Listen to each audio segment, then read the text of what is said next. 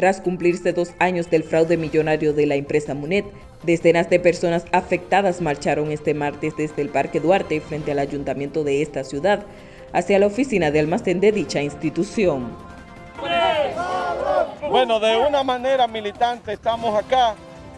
eh, exigiendo nuestros recursos que de buena fe lo depositamos allá, que de buena fe por el cúmulo de años que esta familia tenía negociando con gran parte de la sociedad, pero fuimos estafados por la tercera generación,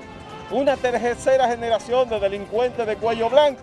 que lamentablemente defraudó. Estamos hablando que a dos años ellos han dejado de entregarle a la sociedad a través de los ahorrantes que estamos allá 650 millones de pesos en intereses,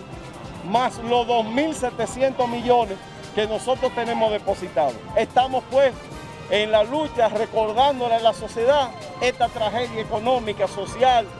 cerca de 18 personas muertas, fruto del impasse que hay, de estrés psicológico, las situaciones que hay de tragedia en sentido general. Situaciones económicas difíciles, es decir, que este ha sido un trauma social, económico, psicológico para toda esta familia. Y por lo tanto, a dos años de esa estafa, hemos querido venir aquí frente a la oficina de MUNE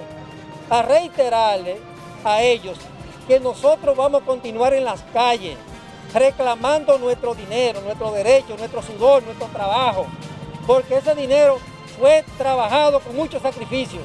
Y por tanto vamos a continuar reclamando ese derecho y reclamándole a la justicia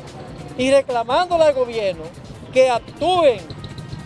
para buscar una solución satisfactoria a este conflicto o a esta estafa